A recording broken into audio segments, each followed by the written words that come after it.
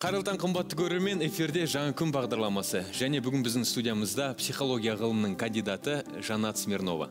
Және де бүгінгі қозғайтын тақырыбымыз ол отбасыдағы ерлі зайыптылардың бір біріне деген рухани көмегі.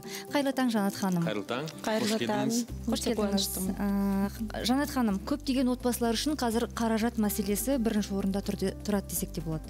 Мұндай жағдайларда ерлі зайыптылардың бір біріне деген көмегі жалпы қандай болу керек деп ойлайсыз? Бір біріне деген көмегі негізі кешірімді болу керек көмек болу керек. Ә, тек қана сөз емес. Кәдімгідей ә, қарапайым көмек болу керек. Ә, сосын жұмысқа кетіп бара жатқанда м, жал- жылы сөздер айту керек міндетті түрде айту керек. Яғни таңғы астан кейін ерлі зайыптылар бір бірлеріңізге жұмысқа шығарып салар кезде беттеріңізден сүйіп бүгінгі күнің сәтті өтсін деп айту аса маңызды. Солай ғой? Дұрыс айтасыз иә. Ал тамаша. енді жанат ханым қазіргі кезде енді депрессия мен апатияның ә, белең алған кезеңі десек те қателеспейміз. Ә, осындай жағдайларда ә, әйел мен ер азамат не істеу керек міндетті түрде күнде күніне бір бірін сегіз рет немесе одан да көп құшақтау керек жаттап екен. екіншіден ә, бір бірінің көзіне қарау керек мхм. Ол не үшін бір бірінен көзін қарау? Өздерінің жаңа эмоционалды контактын айырылмас үшін.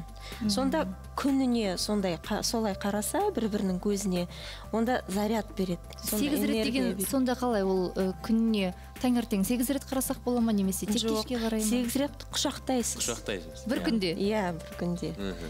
Егер мен мысалы өзімнің жолдасымды таңертең көремін және кешке көремін күндіз мүлдем көрмеймін ол жұмыста. Енді барлық ер азаматтар сонда мен таңертең төрт рет және кешке төрт рет. Кем дегенде? Иә кем дегенде. Үлгеруім керек қой. Иә үлгеруіңіз керек. Құшақтап жібермей қою керек иә тамаша. Ал егер қалай ойлайсыз қандай жағдайда міндетті түрде бұл психологтардың көмегіне жүгінген дұрыс ерлі зайыптылар? Ә, екі жағдайда.